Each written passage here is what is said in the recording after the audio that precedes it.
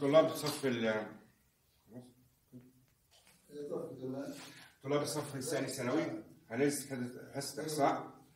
وهنكمل في إيجاد التباين. أفكر بعضكم في التباين. مفهوم التباين. هو الوسط الحسابي. المربعات. انحراف القيم عن وسطها الحسابي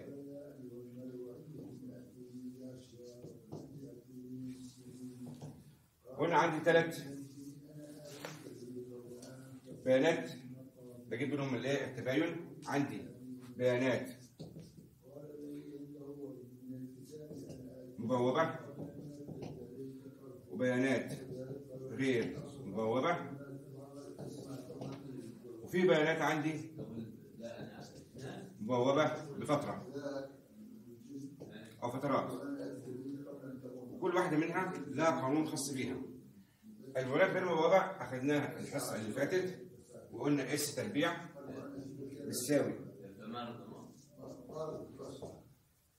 فرق القيم عن الوسط الحسابي. مربع فرق القيم الوسط الحسابي على نون ناقص واحد. اليوم إن شاء الله هناخد البيانات المبوبه والايه البيانات المبوبه فترة باستخدام الجداول. نكتب مع بعض مثال كده. مثال.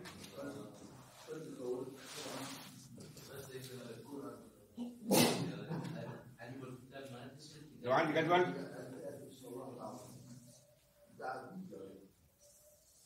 بيعبر عن مجموعة من القيم.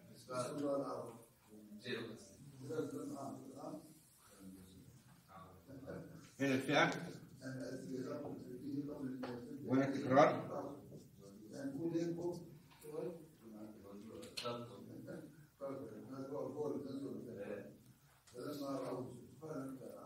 عندي هنا الفئة.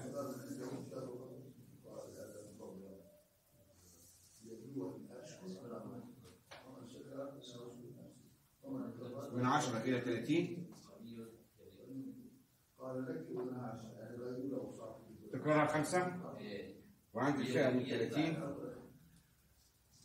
لحد 50 تكرارها 15 وعندي الفئة من 50 إلى 70 تكرارها 35 وعندي التكرار من 70 لحد 90 تكرارها 40 وعندي كمان فئة من 90 لحد 110 تكرارها 5 في حال هذه البيانات بطبق القانون بتاعي S تربيع بتساوي إكس ناقص إكس إكس اي اللي هو القيمة بتاعتي ناقص ربع وسط الحسابي في f i على مجموع f i ناقص واحد. طبعا ما ننساش إن x i ديت هي مركز الفئه x i حيث x i هي مركز الفئه ونعرف إزاي إيه؟ نطبق القانون على هذه المسائل فنرسم مع بعض.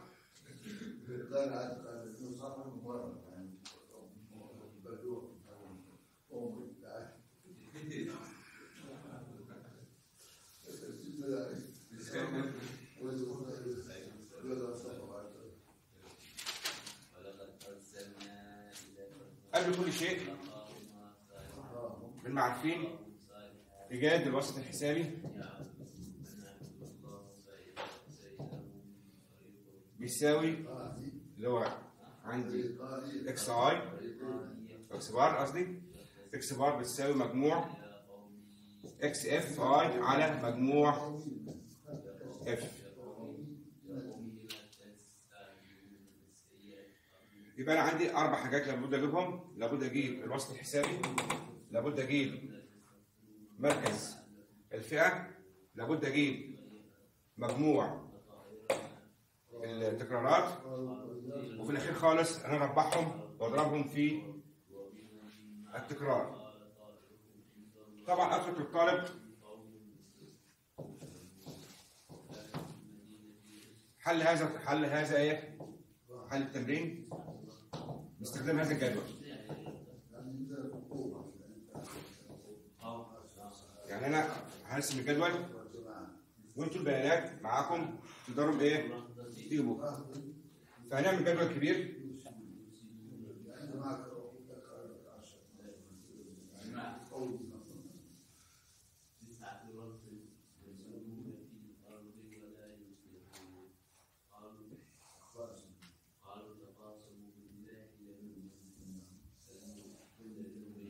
هنعمل جدول كبير.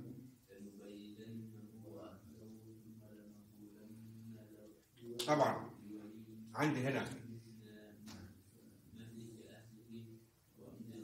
الفئة. وهنا. التكرار. وهنا هنجيب مركز الفئة. اللي بنسميها ساي وهنا نجيب x i ناقص x bar وهنا x i ناقص x bar الكل تربيع وفي الأخير x i ناقص x bar الكل تربيع مضروبه في إيه؟ في الدالة بتاعتي وما ننساش كمان إن أنا لابد أجيب مجموع فئه الأخير من عندي هنا من 10 من 10 إلى 30 تكرارهم خمسة.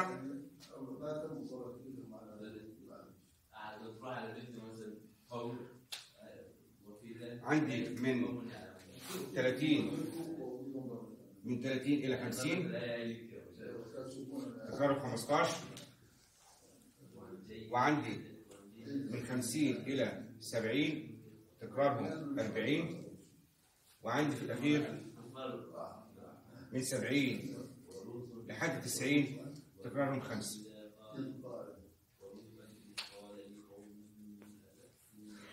أجيب طبعا دي فهم اف قصدي عندي بتجيب مجموع اف 5 و15 20 20 40 40 آه، 5 5 25 20 20 40 60 مجموعهم كام؟ 65 يبقى مجموع اف عندي هنا 65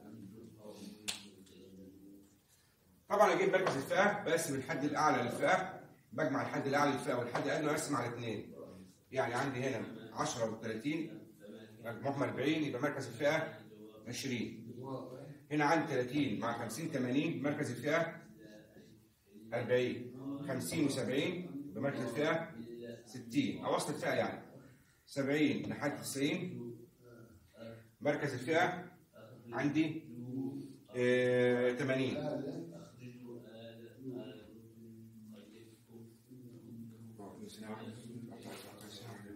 الجدول مكون من عندي الجدول التكراري اللي اعطيته لك نحط فيه الفئة عندي هنا 10 لحد 30 وقلنا تكرارهم خمسة.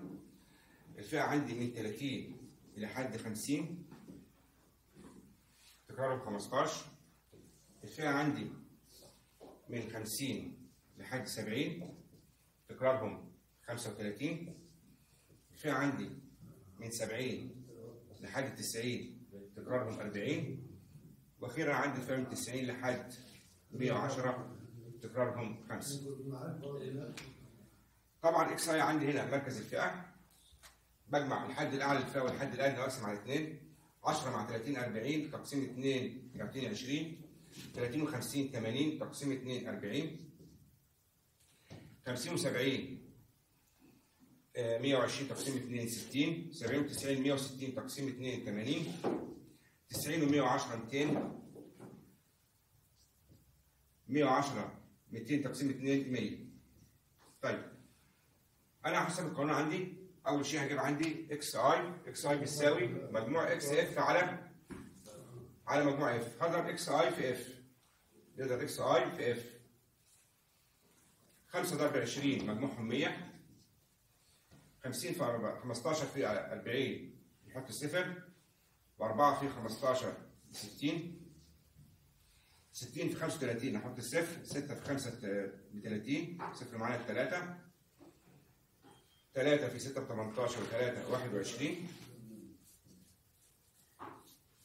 80 في 40 نحط الصفرين 8 في 4 ب 32 و5 في 100 ب 500 أجيب مجموع x f على مجموع f. طبعا هنا مجموع f عندي بيساوي 5 و15 20 20 35 ب 55 95 مجموعهم 100 طيب هجيب مجموع x f نجمع مع بعض ادي صفر.